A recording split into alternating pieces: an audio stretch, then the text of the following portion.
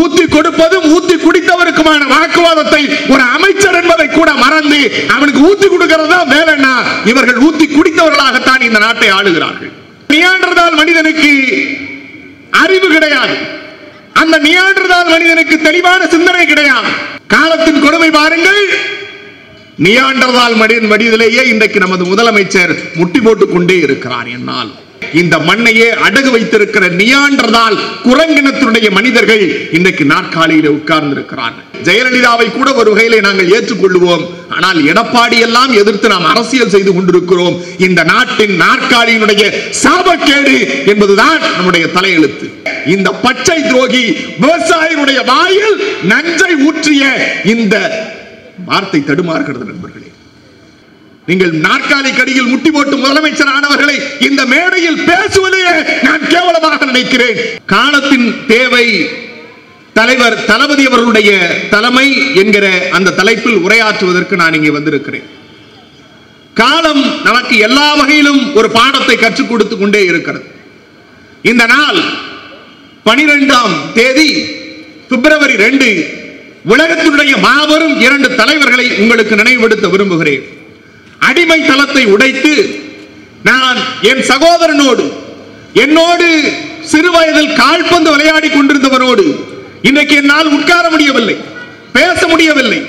ஆனால் நான் ஒரு நாள் இந்த நாற்காலியில் உட்காருவேன். நான் போடுகிற கையெழுத்தின் அடிப்படையில் கால்பந்தாட்டு விளையாட முடியாது விளையாடி கொண்டிருந்த அந்த தோழன் என்னோடு நாற்காலி போட்டு உட்கார முடியும் என்று சொன்னான்.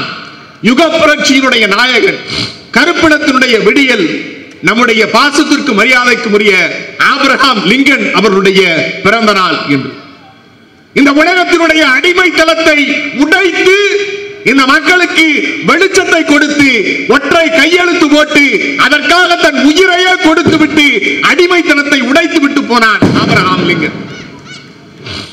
மற்றொருவர் பிறப்பு எல்லா மதங்களுக்கும் மாறுபட்டு இருக்கலாம். அது இந்து மதத்திற்கு ஒரு வாரியான பிறப்பு இருக்கலாம். இஸ்லாம் மதத்திற்கு ஒரு வாரியாக பிறப்பு இருக்கலாம் அல்லது கிறிஸ்தவத்திற்கு ஒரு வாரியாக பிறப்பு இருக்கலாம் நான் கடவுள் மறுப்பான். நான் கடவுள் மறுப்பான். ஆனால் எங்களுக்கெல்லாம் ஒரு வகையில் பிறப்பு என்று என்னவென்று காட்டினால் அந்த பிறப்பினுடைய தத்துவத்தை சொன்ன டார்வின் பிறந்த நாள் இன்று. அமீபாவிலிருந்து மனிதன் எப்படி மீண்டு வந்தான் என்பதை படிநிலையாக சொன்ன அந்த நிலையில்தான் அவன் சொன்னான் அமீபாவிலிருந்து மனிதன் உருவானான். அமிபாவிலிருந்து சிறிய மீனாக வடிவமைக்கப்படுகிறான். அந்த மீனிலிருந்து பாம்பாக மாறுகிறான். பாம்பு முதலையாக மாறுகிறது. முதலை மனிதனுக்கு முன்னாளுக்கு முன்னாக இருந்த குரங்காக மாறுகிறது. குரங்கு மனித குரங்காய் வடிவமைக்கிறது. மனித குரங்கு நியாண்டர்தால் மனிதனாக வருகிறான். நியாண்டர்தால் மனிதன் தான் முழு வடிவம் பெற்ற மனிதனாகிறான். அந்த நியாண்டர்தால் மனிதன் நாம் மனிதன் என்பவன் இரண்டு கால்களால் நடக்கிறோம். மனிதன் என்பவன் இரண்டு கால்களால் நடக்கிறோம். நியாண்டர்தான் மனிதன் கைகளாலும் கால்களாலும் சேர்த்து நான்கு கால்களால் நடந்து போனான். இது வரலாற்றினுடைய உண்மை. அந்த நியாண்டர்தால் மனிதன் இரண்டு கைகளாலும் இரண்டு கால்களாலும் வந்தான். அந்த நியாண்டர்தால் மனிதனுக்கு அறிவு கிடையாது. அந்த நியாண்டர்தால் மனிதனுக்கு தெளிவான சிந்தனை கிடையாது. அந்த நியாண்டர்தால் மனிதனுக்கு நீங்கள் நாற்காலி கொடுத்து உட்கார சொன்னாலும் நான்கு கால்களால் தான் உட்காருவான். ஆனால் காலம் நமக்கு எல்லா வகையிலும் ஒரு பாடத்தை கற்றுக் கொடுத்து கொண்டே இருக்கிறது. நாம் காலம் மாறி இருக்கிறது ஆட்சி மாறி இருக்கிறது சித்தாந்தங்கள் மாறி இருக்கிறது. ஒவ்வொரு மனிதனுக்கும் ஒவ்வொரு சித்தாந்தத்தை உண்டு செய்திருக்கிறோம். அவன் சித்தாந்தத்தின் அடிப்படையிலே பயணிக்க எத்தனிக்கிறான். ஆனால் ஆயிரம் ஆண்டுகள் யுக புரட்சி நடந்து கால்களாலும் கைகளாலும் நடந்து கொண்டிருந்த மனிதன் கால்களால் மட்டும் நடக்கலாம். செருப்பில்லாமல் நடந்தவன் செருப்பு போட்டு நடக்கலாம். இடுப்பிலே வேட்டி கட்ட முடியாது இருந்தவன் வேட்டி கட்டலாம். தோளிலே துண்டு போட முடியாதவன் துண்டு போடலாம். மானமும் அறிவும் மனிதனுக்கு என்று சொன்ன தத்துவார்த்தத்தினுடைய தந்தை தந்தை பெரியார் என்கிற மாமனிதன் நமக்கு சுயமரியாதையை சொல்லிக் கொடுத்து நாற்காலி போட்டு நம்மை உட்கார வைத்தான். ஆனால் காலத்தின் கொடுமை பாருங்கள். காலத்தின் கொடுமை பாருங்கள். நியாண்டர்தால் மடியின் வடிவிலேயே இன்றைக்கு நமது முதலமைச்சர் முட்டி போட்டுக் கொண்டே இருக்கிறார் என்னால். இது காலத்தினுடைய மாற்றமா? நாம் மனிதர்களுக்கான திறமையை தேடிக்கொண்டிருக்கிறோம் ஆனால் இங்கே ஒரு அடிமை கூட்டம் இந்த நாட்டிற்காக இந்த மண்ணுக்கான இந்த மண்ணினுடைய சித்தாந்தங்களை தொலைத்துவிட்டு இந்த மண்ணினுடைய பூர்வாங்க விடயங்களை தொலைத்துவிட்டு தன்னுடைய நாற்காலிக்காக இந்த மண்ணையே அடகு வைத்திருக்கிற நியான்றதால் குரங்கினத்தினுடைய மனிதர்கள் இன்றைக்கு நாற்காலியில உட்கார்ந்து இருக்கிறார்கள் அவருடைய ஆட்சியின் கீழ் நாம் வாழுகிறோம் என்பது நமக்கு சாபக்கேடு நண்பர்களே. நண்பர்களே தோழர்களே இரண்டு நாள் விவாதத்தை பார்த்திருப்பீர்கள். நேற்றைக்கு நியூஸ் எயிட்டீன் அதற்கு முன்பதாக நியூஸ் செவன் இரண்டிலும் விவாதத்தினுடைய தலைப்பு நியூஸ் செவனில் வைத்த விவாதத்தினுடைய தலைப்பு பிரச்சாரத்தில் யார் முந்துகிறார்கள்? திமுகவா அதிமுகவா? நேற்றைக்கு நியூஸ் ஐடியினுடைய தலைப்பு வெற்றி நடை போடுகிறதா? அல்லது உங்கள் தொகுதியில் ஸ்டாலின் என்பது வெற்றி பெற்றிருக்கிறதா? என்பதுதான் தலைப்பு நண்பர்களே. நேற்றைக்கு சட்டமன்றத்தினுடைய மூத்த உறுப்பினர் செம்மலை விவாதத்திற்கு வந்தார். அவரிடத்தில் நான் விவாதித்துக் கொண்டிருந்த செய்திகளை மட்டும் உங்களுக்கு சொல்லி விடைபெறுகிறேன். அவர் சொன்னார் நாங்கள் விவாதத்தில் பேசுகிற போது எங்களுக்கு இருக்கிற சங்கடம் எதிரி நேரடியாக வந்தால் அவரிடத்திலே வால் வீசலாம். ஆனால் எதிரியும் இல்லாமல் எதிரி வேடமும் போடாமல் நாங்கள் நடுநிலையாளர்கள் என்று சொல்லி உட்கார்ந்து கொண்டு நேற்றைக்கு பா. கிருஷ்ணன் என்கிற ஒரு எழுத்தாளர் வந்தார். அவர் எத்தனை புத்தகம் எழுதினார் என்பது எனக்கு தெரியாது. ஆனால் அவர் சொன்னார் ஸ்டாலின் போடுகிற மாலையெல்லாம் எடப்பாடி சிக்ஸரும் போருமாக அடிக்கிறார் என்று சொன்னார். நான் கேட்டேன் இந்த கிரிக்கெட்டும் கிரிக்கெட் கமெண்ட்ரி பண்ணுகிறவர்களும் எங்கள் இனத்திற்கு எதிரானவர்கள். இந்த கிரிக்கெட்டும் கிரிக்கெட் கமெண்ட்ரிக்கு நாங்கள் எதிரானவர்கள். நான் ஒரே ஒரு கேள்வி கேட்கிறேன் எங்கள் தலைவர் பந்து போடுகிறான் எங்கள் தலைவர் பந்து போடுகிறான் கிரிக்கெட்டிலே கிரிக்கெட் வைத்து விளையாட வேண்டும். ஹாக்கி மட்டையை வைத்து விளையாட முடியாது. எடப்பாடி ஹாக்கி மட்டையை வைத்து விளையாடி கொண்டிருக்கிறார். அது ஆட்டமும் கிடையாது என்று சொன்னேன். போடுகிற பாலெல்லாம் கிளீன் அவுட் எடப்பாடி ஒவ்வொரு பந்திலும் தோற்று கொண்டிருக்கிறார். நம் காலத்தின் கொடுமை வாருங்கள் நண்பர்களே. நம் காலத்தின் கொடுமை. திராவிட இயக்கமும் திராவிட முன்னேற்ற கழகமும் யாரோடு அரசியல் செய்தோம்? உடம்பெல்லாம் மூளை என்று சொன்ன ராஜாஜியோடு நாம் போராடினோம். இந்த இனத்தை காப்பதற்காக. காங்கிரஸ்ல இருந்தாலும் காமராஜரை எதிர்த்து அரசியல் செய்தோம். இந்த இனத்தை பாதுகாப்பதற்காக. கருத்து முரண்பாடுகள் போது காங்கிரஸ் வேறு இயக்கத்தினுடைய தலைவர்களோடு போராடினோம். அதற்கு பிறகு தலைவர் கலைஞருடைய நண்பர் எம்ஜிஆர் வந்தார் அவரோடும் போராடினோம். அதற்கு பிறகு வந்த தலைமையினுடைய கால அளவை யோசித்து பாருங்கள். ஜெயலலிதாவை கூட ஒரு வகையிலே நாங்கள் ஏற்றுக்கொள்வோம் ஆனால் எடப்பாடி எல்லாம் எதிர்த்து நாம் அரசியல் செய்து கொண்டிருக்கிறோம். இந்த நாட்டின் நாற்காலியினுடைய சாபக்கேடு என்பதுதான் நம்முடைய தலையெழுத்து. சொல்லுகிறார்கள் வெற்றி நடை போடுகிறது. என்ன வெற்றி நடை போடுகிறது? நான் கேட்டேன் பதினோரு கேள்விகள் கேட்டேன். நீங்கள் மூத்த உறுப்பினர் சட்டமன்றத்தினுடைய ஆகச்சிறந்த உறுப்பினர் என்று நீங்கள் சொல்லுகிறீர்கள் நான் உங்களிடத்தில் சில கேள்விகள் கேட்க வேண்டும். வெற்றி நடை போடுகிறது எதிலே வெற்றி நடை போடுகிறது? போடாத சாலைக்கு பில் போடுவதிலே வெற்றி நடை போடுகிறதா? போடாத சாலைக்கு பில் போடுகிறீர்களே அதிலே வெற்றி நடை போடுகிறதா? இன்றைக்கு விழுப்புரத்தில் எங்களுடைய தலைவர் அண்ணன் தளபதி விக்கிரவாண்டியில பேசினாரே. அவர் அண்ணன் நீங்க ரொம்ப ஜென்டிலா பேசினாங்க தலைவர். தலைவர் ரொம்ப ஜென்டிலா பேசினாங்க அந்த இடத்துல போய் அப்படி கண்ணியமிக்க ஒரு பேச்சை எங்களுடைய தலைவரால் மட்டும்தான் கொடுக்க முடியும். ஏன்னா அந்த அமைச்சர் அதற்கு முந்தைய நாள் சொன்னார் ஊத்தி கொடுப்பதும் ஊத்தி குடித்தவருக்குமான வாக்குவாதத்தை ஒரு அமைச்சர் என்பதை கூட மறந்து அவனுக்கு ஊத்தி கொடுக்கிறதா வேலைன்னா இவர்கள் ஊத்தி குடித்தவர்களாகத்தான் இந்த நாட்டை ஆளுகிறார்கள். அங்கே ஊத்தி கொடுத்தவரை நாம் பேசவில்லை. ஊற்றி வாங்கி குடித்தவர் இந்த நாட்டினுடைய அமைச்சர். அவரையெல்லாம் நாம் அமைச்சராக கொண்டிருக்கிறோம் என்றால் நம்முடைய சாபக்கேடு அல்லவா? எங்கள் இயக்கத்தாருக்கு நான் சொல்லவில்லை. பொதுமக்களுக்கு இந்த கருத்தை வைக்கிறேன்.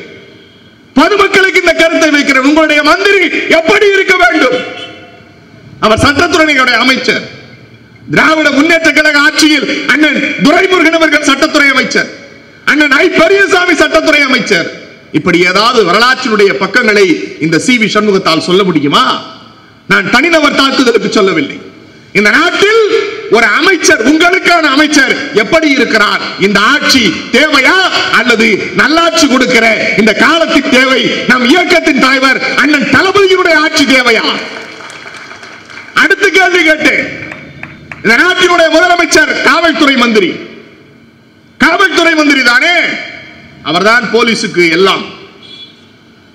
ஸ்டெர்லைட் விவகாரத்தில் பதிமூன்று பச்சில உயிர்களை குறிப்பாக பதிமூன்று வயது ஸ்னோலின் வாயில் துப்பாக்கியை வைத்து சுட்டீர்களே. இதில் தான் வெற்றி நடை போடுகிறதா? இதில் தான் வெற்றி நடை போடுகிறதா? நான் கேட்டேன். அவர்கள் கலவரக்காரர்கள் என்று செம்மலை பதிவு செய்தார். அது இருக்கட்டும் அதற்குள்ளே நான் செல்லவில்லை. ஆனால் அந்த செய்தியை தெரிந்து கொண்டது தொலைக்காட்சியை பார்த்து தெரிந்து கொண்டேன் என்று ஒரு பொறுப்பற்ற மானுடம் சொல்லுகிறது என்றால் அவரை முதலமைச்சராக ஏற்றுக்கொள்ளுவீர்களா? அவரை முதலமைச்சராக ஏற்றுக்கொள்ளுவீர்களா? தன் இலாக்காவில் இருக்கிற துப்பாக்கி தன்னை கேட்காமல் வெடிக்காது என்று சொல்லுகிறவர் முதலமைச்சரா? வெடித்ததே எனக்கு தெரியாது. பதிமூன்று உயிர்கள் செத்தது எனக்கு தெரியாது என்று பொறுப்பற்றத்தனமாக சொல்லுபவன் முதலமைச்சரா? இங்கே காலத்தின் தேவை நம்முடைய தலைவர் என் தளபதி. விவசாயி என்று பச்சைய பச்சையாக பட்டியலிடுகிறான். நான் விவசாயி. நான் விவசாயி. யார் விவசாயி? எடப்பாடி பழனிசாமி.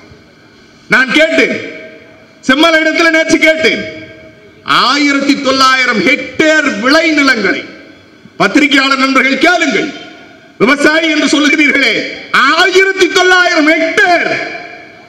உளுந்தூர் பேட்டையிலிருந்து சேலம் வரை இருக்கக்கூடிய எல்லா விவசாய நிலையங்களையும் எட்டு வழிச்சாலைக்காக அந்த விவசாயிகளுடைய வயிற்றில் அடித்த இந்த பச்சை துரோகி விவசாயிகளுடைய வாயில் நஞ்சை ஊற்றிய இந்த வார்த்தை தடுமாறுகிறது நண்பர்களே.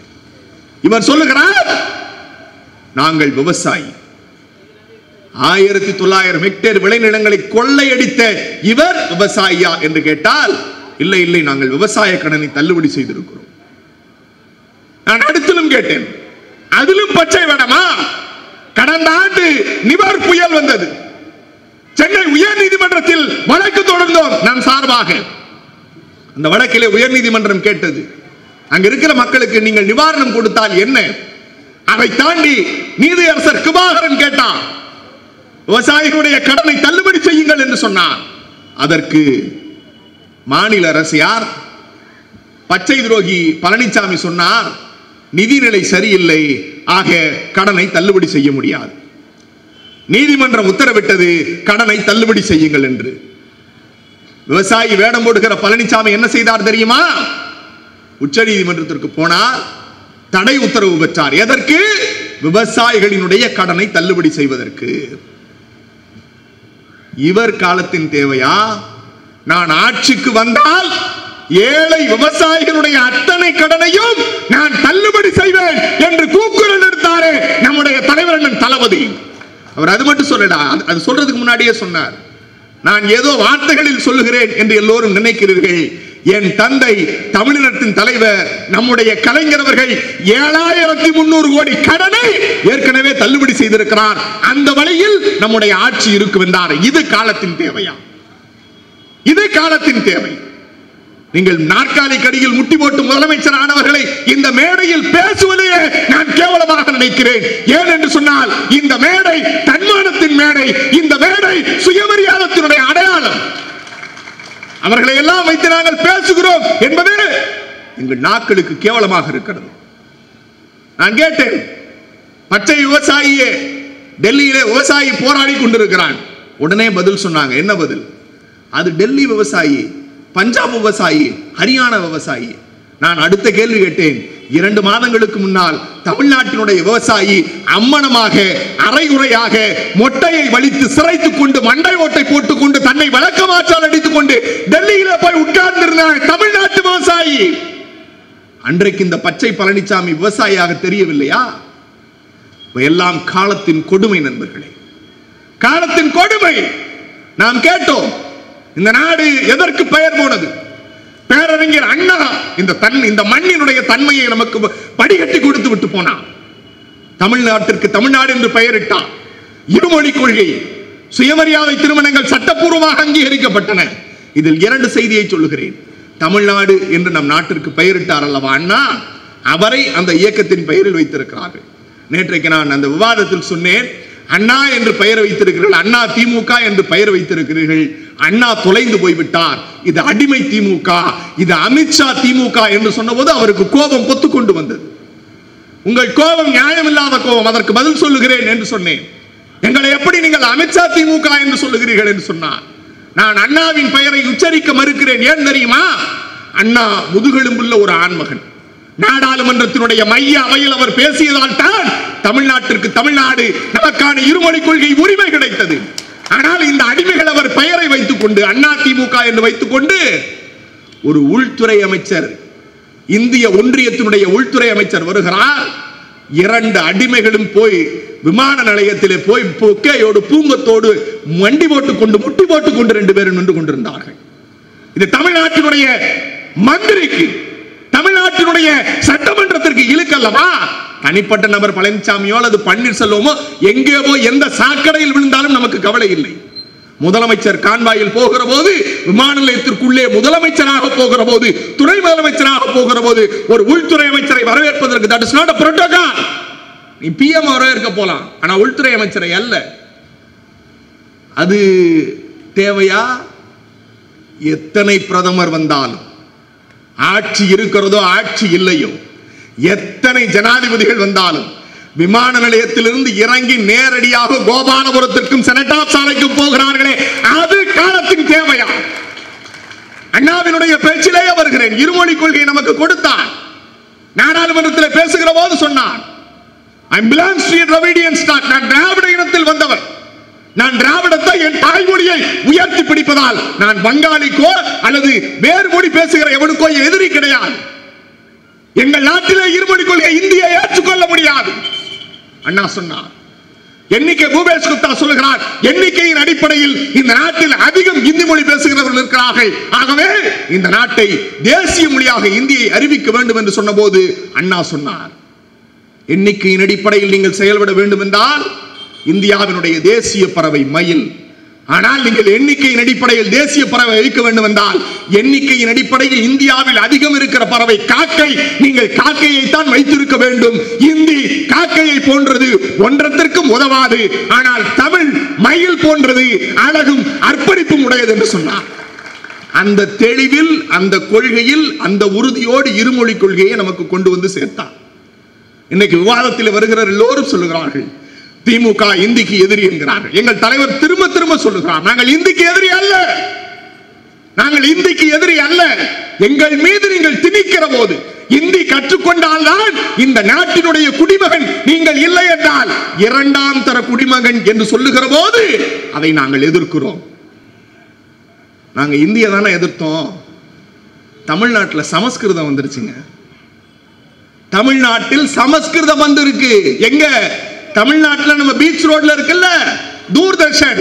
அதில் பதினைந்து நிமிடம் ஒரு நாளைக்கு சமஸ்கிருதத்தில் செய்தி வாசிக்க வேண்டும். ஏண்டா அண்ணா திமுகன்னு பேர் வச்சிருக்கிற ஒரு மந்திரிக்காவது சூடு சொரண சாப்பாட்டுல உப்பு போட்டு திங்கிற அந்த உணர்வு இருக்கா? அதை எதிர்த்து இந்தியாவிலேயே முதல் குரல் கொடுத்தது செத்து போன சமஸ்கிருதத்திற்கு ஒளி வடிவம் இல்லாத எழுத்து வடிவம் இல்லாத சமஸ்கிருதத்தை தமிழ்நாட்டில் கொண்டு வந்தால் மீண்டும் ஒரு இந்திய எதிர்ப்பு மொழிப்போர் வரும் என்று கூக்குரலிட்டவர் எங்கள் தலைவர் தளபதி. அவர் காலத்தின் தேவை. இந்த மண்ணுக்கான சாராம்சத்தை பாதுகாக்க வேண்டும் தோழர்களே. இந்த அடிமைகள் தங்களுடைய நாற்காலிக்காக எதை வேண்டுமானாலும் துறப்பார்கள். எதை வேண்டுமானாலும் செய்வார்கள். ஆனால் இந்த மண்ணுக்கான உரத்தோடு இந்த மண்ணுக்கான சித்தாந்தத்தோடு இந்த மண்ணை காப்பாற்ற வேண்டும் என்றால் இந்த மண்ணுக்கான தலைவன்.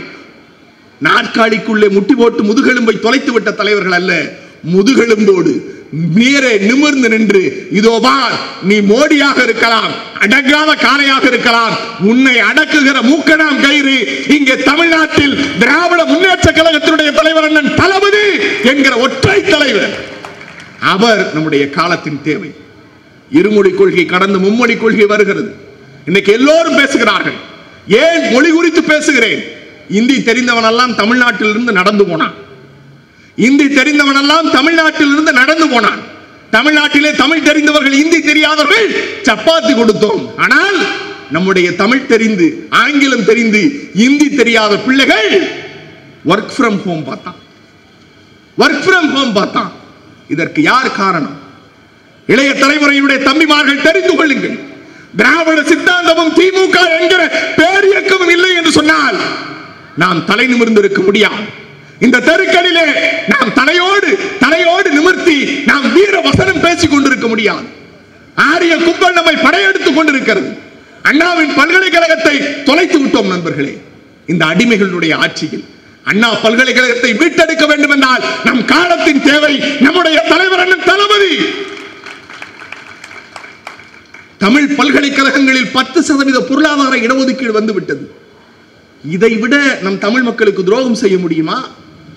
சாமானியன் தலையில் பிறந்தவன் இவன் தோளில் பிறந்தவன் இவன் தொடையில் பிறந்தவன் இவன் காலில் பிறந்தவன் இவன் அவனுக்கும் கீழாய் பிறந்தவன் என்று படிம நிலையில் சாதி வந்த போது இடஒதுக்கீடு என்பது கல்வியாலும் அவன் சார்ந்திருக்கிற சமூகத்தாலும் வர வேண்டுமே தவிர பொருளாதாரத்தில் வரக்கூடாது என்று தந்தை பெரியார் காலம் தொட்டு நீதியரசர் சிவராஜ் வரைக்கும் பட்டியலிட்டு இருக்கிறார்கள் ஆனால் இந்த அயோக்கிய அடிமை கும்பல் நம்முடைய இடஒதுக்கீட்டில் நம் பிள்ளைகளுடைய இட- இடஒதுக்கீட்டில் ஏற்கனவே மூணு சதவீதம் பேர் இருக்கிறவன் முப்பது சதவீதத்தை ஆண்டுகிட்டு இருக்கான்.